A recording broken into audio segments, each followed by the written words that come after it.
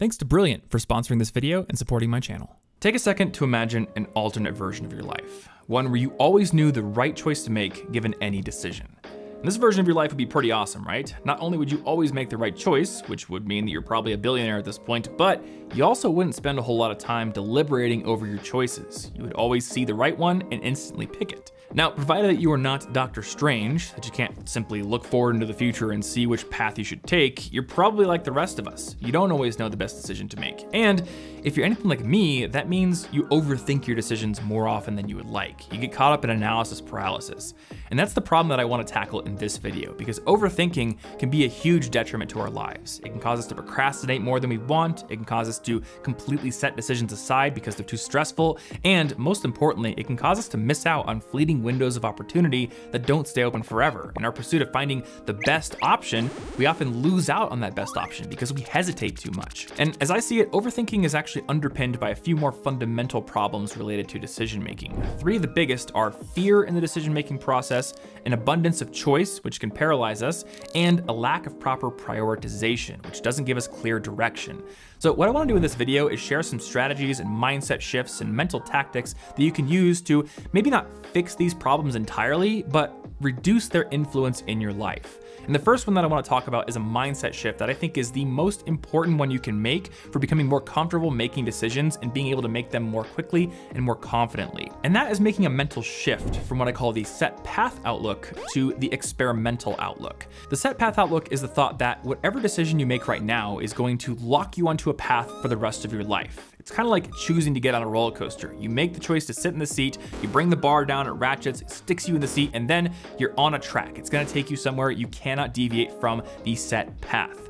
But most of the decisions we make in life are not like that. There are a few, yes, if you are standing at the very edge of the Grand Canyon, then the cardinal direction of your very next step has the potential to be pretty life altering, but for the most part, the decisions we make in our lives don't set us upon a completely fixed set path. We have the ability to pivot and to iterate upon our decisions at the next junction point. That's the crux of the experimental outlook, viewing decisions as experiments, being like a scientist, realizing that the choices we make are going to get us consequences or rewards in the short term, maybe both, but they're also going to get us data. They're going to get us information that we could not have gotten otherwise, which will allow us to pivot and go onto a new path if we don't like the one that we see ourselves on. And this applies not only to small choices, but also to big ones, ones that feel monumental in the moment. I remember when I was a freshman in college, I thought my choice of major was gonna set me on a path for life, and I felt that I had to pick the right one the first time, otherwise I would screw up my entire life. Well, the major I picked, MIS, was really intended to get me into a corporate job running their computer networks, and now I'm making YouTube videos. And data even shows that a third, a full third of college students change their major within the first three years of enrolling. Now, I didn't change my major, but I still pivoted nonetheless. So if something that monumental can be pivoted and iterated upon, most of the decisions that you are faced with on a day-to-day -day basis can be as well. To go back to our analogy, most decisions are not like getting on a roller coaster with its set track, but more like getting onto a ski slope. Yes, once you have picked a route to go down, gravity makes it pretty tough to crawl back to the starting point, but as you're going down, you have agency. You have the ability to turn and pivot and choose where you're going to end up, making small adjustments in the middle. But how do you adopt this mindset into your life in the first place? How do you get comfortable with it? Because it's not like an on off switch in your head, right? One of the first steps is becoming comfortable with the fact that almost every decision in your life involves incomplete information. Or, to put it as Annie Duke does in her book Thinking in Bets, life is more like poker than it is like chess. See, in chess, you almost have perfect information when you're playing. You can see every possible move on the board that you could make and that your opponent could make. There is almost no hidden information in the game, which means that there's almost no luck. But poker and life are very different. In poker, you can never be 100% certain of the cards that your opponents are holding, and in only a couple of circumstances can you be confident that you have the best hand at the table.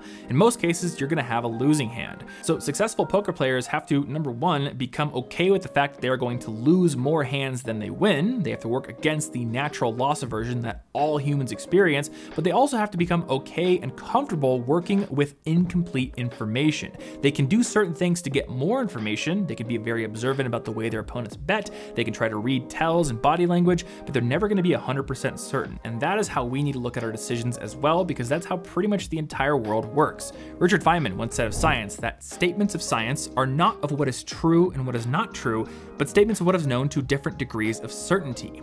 Every one of the concepts of science is on a scale graduated somewhere between, but at neither end of, absolute falsity or absolute truth. And if we can become comfortable with that fact in our decision making process and with the fact that the results of our decisions may not always be optimal, even if our decision making process was sound, then we're going to be more confident and more able to make decisions in the first place. So now let's talk about the second problem we listed in the beginning of the video, the abundance of choice. Now, having a lot of choice seems like a good thing sometimes, but when you have too many choices, it can become a bad thing, as anybody who's ever played with a reliquary tower in Magic the Gathering knows. And that's because the more choice you have, the longer it often takes you to make a decision. In fact, there is a psychological principle called Hick's Law that describes this. As more and more stimuli are added to a pool of choices, the longer and longer it takes the subject to actually make a choice. And this hesitation isn't the only problem associated with the abundance of choice. As Sheena Iyengar wrote in one of her research papers on the paradox of choice and analysis paralysis, the presence of more choices has been associated with lower chooser confidence and greater experiences of negative effect. That is, people choosing from more extensive choice sets are less satisfied with their decision outcomes and pay more for purchases that make them less happy. She's also noted that the abundance of choice can often push people to never make a decision at all, with her biggest example being retirement savings options. People are often so inundated with so many different investment choices that they never choose anything and they never save for retirement. The worst possible decision, barring putting it all on black in Vegas or something. So this abundance of choice that we often think is a good thing can not only cause us to hesitate and put off important decisions, sometimes indefinitely, but it leads to us being less satisfied overall with our decisions and it can cause us to spend more money money on things that ultimately don't matter. And this leads to a conclusion. If you want to overthink less often, and if you want to be more satisfied with your decisions, you should restrict your choice pool. Do it deliberately. For example, say you want to buy a new TV. What do you do? Well, most people are probably going to go on the internet and start reading TV reviews, but that exposes you to pretty much every TV you could buy, and it exposes you to hundreds or thousands or millions of different opinions, spec sheets, fact listings, and you could spend the rest of your life if you wanted to going through and comparing side by side all these TVs with their different specs. And maybe you're going to get the best overall TV at the end of the day if you do that, but again, the research shows we're gonna spend a lot of time hesitating, we're going to waste a lot of time comparing things that ultimately don't matter, and we're probably gonna convince ourselves to buy a TV that's more expensive than we really need. So maybe what you should do instead is just walk into Target or your local electronics store and buy whatever TV looks good on the wall. Are you going to get the TV with the absolute best contrast ratio and lag time and all that kind of stuff?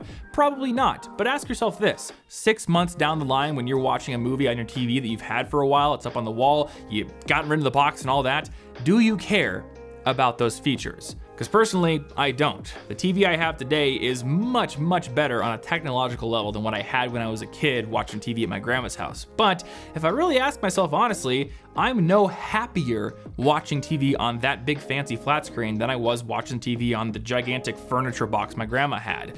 The overall happiness level is really the same at the end of the day. So restricting my choice pool in this example would save me a lot of time and probably save me a lot of money, and my overall satisfaction would be higher. Now, the third major problem that we talked about in the intro was the lack of prioritization. This can cause overthinking just as much as the abundance of choice and fear in the decision-making process. How many times have you woken up with a task list that has five or 10 items on it, and you're not really sure of which one to start with. None of them have a hard deadline, so you spend a bunch of time procrastinating just trying to figure out where you should start. That's a lack of priorities in action. And actually, the last example we just went through has an application of the tip that I'm gonna share with you, which is to go through what's called the regret exercise. This is a great way to set your priorities even if they are not clear in the present moment. And this involves mentally fast forwarding to the end of the day or the end of a specific time period and asking yourself, what choice would I regret the most here? So in the case of having a to-do list, if you've got 10 items on the list, mentally fast forward to the end of the day and ask yourself,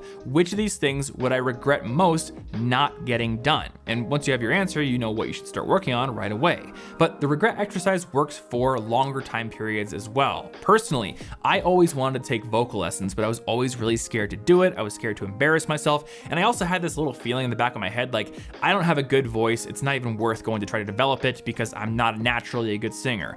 But then I asked myself, you know, I mentally fast forwarded to myself at 80 years old and asked, would I regret never taking vocal lessons, never trying? And the answer was an absolute yes. It's something that I wanted to do, and by mentally fast forwarding out of my present moment, I was able to get clarity on that question. The answer to it was so much stronger. So that pushed me to go and take my first lesson, and I'm really glad that I did.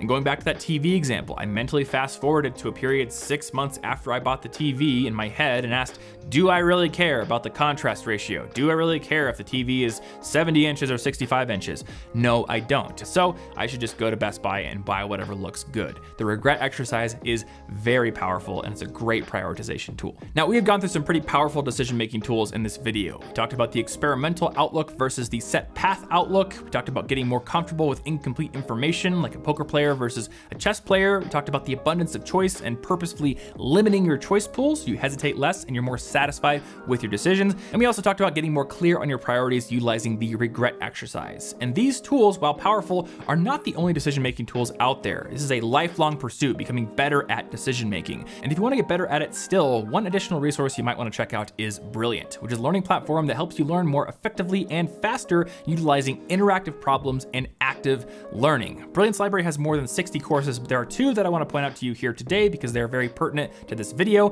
one of which is their logic course, which will help you think more logically, and the other one is their probability course. Now this is a math and statistics course, but learning about probabilities will also help you to think probabilistically in your decisions as well, which is incredibly powerful for making better decisions. Also within Brilliant's library, you're going to find an entire math suite. They have a brand new geometry course with lots of interactive problems. They have calculus courses. Basically, if it's in math, you can learn it on Brilliant. They also have science courses like their gravitational physics course, and of course, computer science classes. They've got their algorithm fundamentals class and even a class on search engines where you can learn basically how Google works. So if you wanna support this channel and start improving your problem solving and decision-making capabilities today, click that link on screen right there and sign up for Brilliant. If you're one of the first 200 people to do so, you will also get 20% off your annual premium subscription. Thanks as always for watching this video. If you enjoyed it, if you found something useful here, hit that like button for the YouTube algorithm. And I've also got two more videos right here and here that you can click if you wanna watch more stuff on this channel. Thanks again for watching and I will see you